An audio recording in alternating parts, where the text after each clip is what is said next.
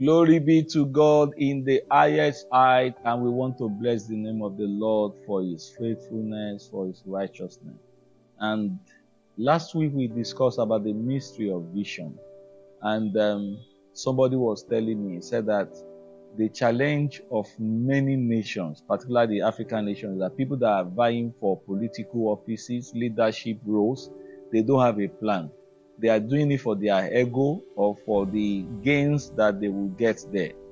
Only very few people are ready for the office they are vying for. And now, if you are, if you don't have a vision of the office you are going to, of course, when you get there, you will squander the resources available for wrong reason. You will take up wrong project, you know. And I remember when I when I made up my mind I was going to get married, I sat down and I told myself what my marriage would be like. And this is my 21st year of marriage. I'm living the vision. When I met my wife, we sat down together and we agreed what our marriage would be like. And it was very easy for us to operate together. And this week, remember the convention just started, and um, we this week want to talk about the mystery of love.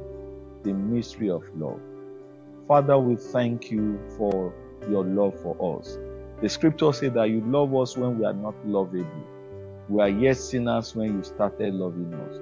Some of us, like you said concerning uh, Jacob, you said you love him even when he was in mother's womb. He told Jeremiah, Before I formed your mother's, I already planned for you. What a God you are. Father, we thank you. Please, this week, the week of convention, we ask that you grant us perfect liberty and as we discuss the mystery of love, please be glorified. In Jesus' name, amen. Now, friends, you know, this is pre recorded for the whole week. So, we're going to talk about the mystery of love for the whole week. Now, the first thing is that our text is John chapter 3, 15, and 16, and I'm going to read that to you. The Bible says that whosoever believeth in him should not perish, but have eternal life. For God so loved the world. What is the result of the love? That he gave his only begotten Son. Why did he give his Son? For who, that whosoever believeth in him should not perish, but have everlasting life. Now, God has a vision before he gave his Son. The vision played out he made it plain to everyone. I'm giving you this for this purpose. He had been seeing it for years before the son came.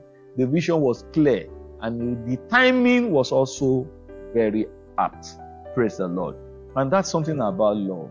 Now, the first thing we want to talk about love is salvation.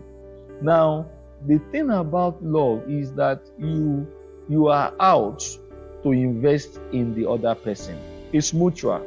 Like if it's a relationship, or parent eh, of parents to children, husband to wife, friend to friend.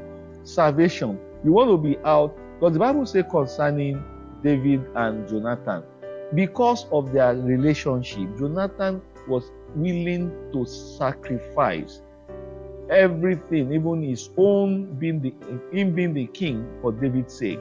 That's salvation. Salvation will always come into play. That's what the Bible says in First Corinthians 13, if you read from verse 1 to 6, he says that no matter what you have without love is useless. No matter what you can do without love doesn't make sense. And he said, Love believeth all things. Love, you know, love endureth all things. Love does not is not powerful. Love does not seek his own. Love is always about salvation. And that's why when God loved the world, he gave us for our salvation. And friends, if your love is not bringing salvation to the other person, it's not love. It could be infatuation, it could be business. Remember that, and we will continue on that note. Put flesh to your love. Let your love bring salvation to somebody, to something. See you soon.